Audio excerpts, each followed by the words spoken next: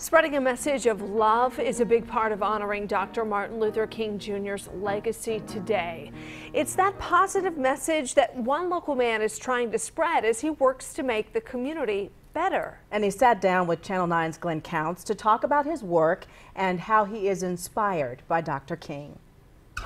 Charles Robinson is a man who brings light to the darkness. I'm teaching kids you can be everything you want to be.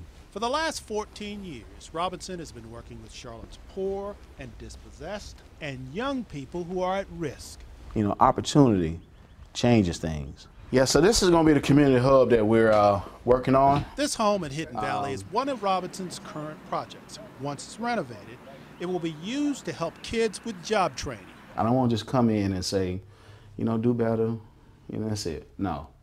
I need to be able to put you in a position where you can be successful. Volunteers have donated clothes and books, and there will be a commercial kitchen and a shower. So that some of our folk that are coming in, um, that are in transition, can get clean and get ready to go to work. Robinson um, strongly believes that not everyone big, gets an opportunity.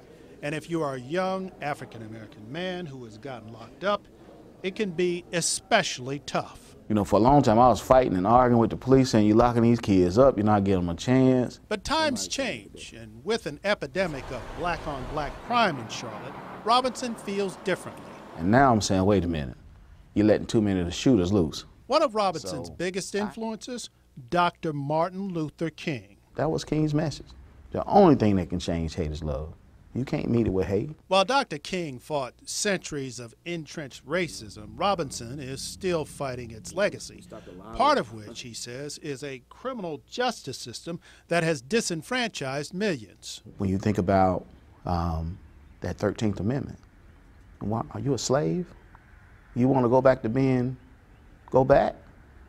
How do you go back? What does that felony represent? So Robinson's you know, message a sounds a lot like the police don't break the law. If I can show you a way to put that pistol down and not sell that dope. What Robinson is selling is hope grounded in love, which is just like his hero, Dr. King.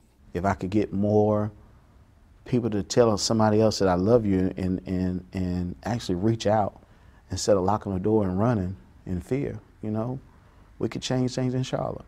In Charlotte, Glenn Counts, Channel 9 Eyewitness News.